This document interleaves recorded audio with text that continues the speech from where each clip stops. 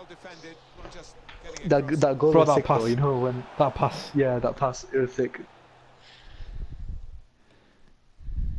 I remember F- Firmino did that attack.